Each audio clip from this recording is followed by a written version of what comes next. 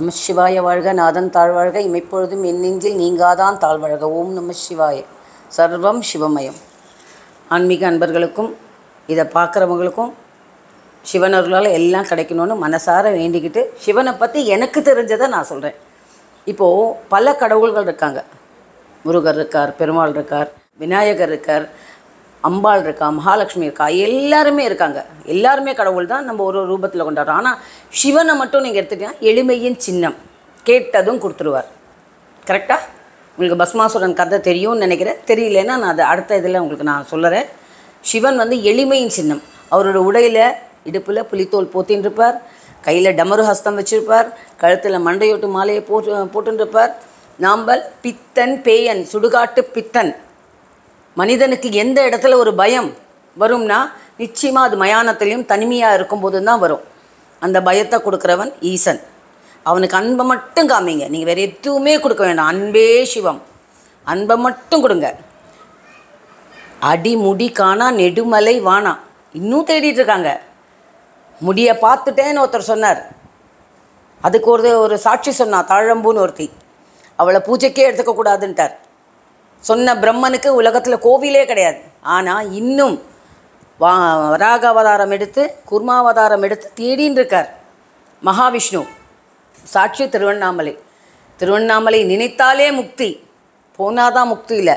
திருவண்ணாமலையை நினைத்தாலே முக்தி. அவன் காலடியில் நாம் இருக்கோம். அவன் தாழ் வணங்கி அவனொருளாலே அவன் தாழ் வணங்கி அவனை நீங்கள் நித்தமும் வணங்குங்க. நிச்சயமாக உங்களுக்கு அவர் எதுவுமே எதிர்பார்க்கல.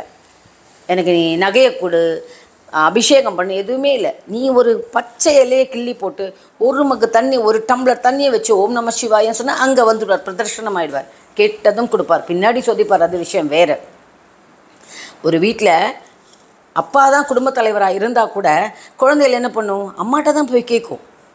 அம்மா அன்னைக்கு அப்பாட்ட சொல்லி அதை வாங்கி கொடு அப்பாட்ட சொல்லி இதை வாங்கி கொடுன்னு. அம்மாவால் முடியுமா? முடியாது. உங்கள் அப்பாட்ட போய் கேளுன்னு கேட்ப சொல்லுவாங்க. அதே மாதிரி தான் மகாவிஷ்ணுவர் அம்மா ஸ்தானத்தில் இருக்கவர். அவர் கேட்டு அப்புறம் சிவன் கிட்ட பர்மிஷன் வாங்கி அப்புறம் கொடுப்பார். ஆனால் நேராக நீ அப்பாட்ட போய் கேளு சிவபெருமான்கிட்ட போய் கேளு உன் துக்கத்தை ஒரு நிமிஷம் கண்ணை மூடி ஓம் நம சிவான்னு ஒரு அஞ்சு தரம் சொல்லு. உனக்கு நடக்கலைன்னா என்னோடய ஃபோன் நம்பர் தரேன் என்னோடய அட்ரஸ் தரேன் தாராளமாக வந்து என்கிட்ட கேட்கலாம். ஏன்னா எனக்கு நடந்திருக்கு. என்னோடய வாழ்க்கையில் நடந்திருக்கு. என்னோடய அம்மா உடம்பு சரியாந்தப்போ மீட்டு கொடுத்தார். அப்பா இறந்து போயிட்டார். அம்மா அம்மாவும் இறந்து போகிற ஸ்டேஜில் இருந்தாங்க. காப்பாற்றுறதுக்கு யாருமே இல்லை. என்ன என்னோட பேக்ரவுண்ட் பார்த்தா எனக்கு கூட பிறந்தவங்க யாருமே கிடையாது. எனக்கு காப்பாற்றி கொடுத்தார். வந்து நின்னேன் நீ தானே சொன்ன தாயுமானவன் தந்தையானவன்னு சொல்கிறியே தந்தையை எடுத்துக்கிட்ட தாயுமானவன் அந்த தாயையும் எடுத்துக்கிறியேன்னு கேட்டேன். மரண படுக்கையில் இருந்தவங்க எழுந்து வந்தாங்க. இதெல்லாம் நிதர்சனம். அவன் தாழ் வணங்கி நின்னேன் அவன்கிட்ட கேட்டேன்.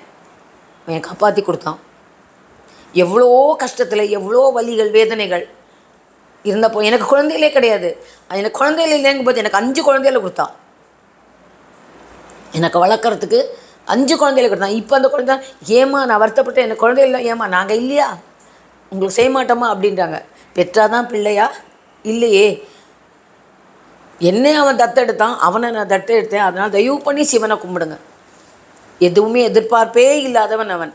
அவன் காலடியில் சரணடைஞ்சிங்கன்னா அப்புறம் எல்லாமே நடக்கும். நிதர்சனம் ஆனால் உண்மையான அன்பை காமிங்க. அதை காமிச்சிங்கன்னா கண்டிப்பாக நடக்கும் நடக்கும் அப்படிங்கிறது என்னோடய நம்பிக்கை. நீங்கள் நம்புங்க.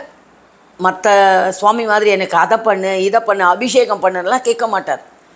நீ ஒன்றுமே வேண்டாம். எப்படி ஒரு பிள்ளையாரை மஞ்சள் பிள்ளையாரை வச்சு அதுக்கு ஒரு குங்குமத்தை வச்சு அதுக்கு ஒரு தோப்புக்கரணம் போட்டு பண்ணுறியோ அதை விட- அவரோட அப்பா அதை விட எளிமை.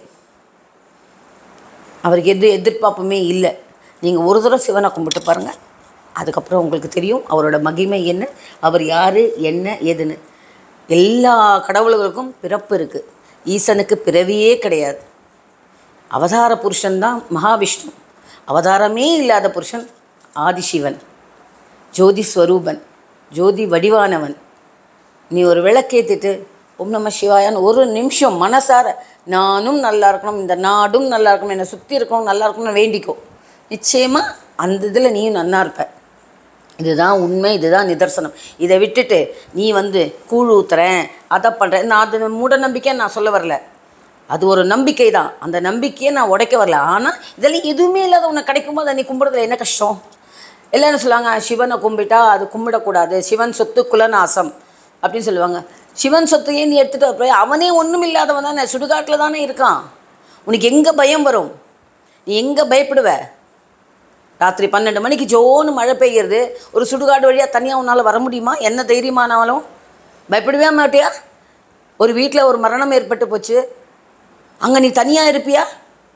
உன்னால் முடியுமா? அங்கே இருக்கிறவன் தானே அவன். நீ அங்கே தானே போக போகிற பிறக்கிறது வேணா எங்கே வேணால் பிறக்கலாம். ஆனால் போகிற இடம் ஒன்று தான் அதனால் தயவு பண்ணி ஈசனை கும்பிடுங்க. உங்களுக்கு நல்லதே நடக்கும். ஓம் நம சிவாய். வாழ்க வளமுடன்.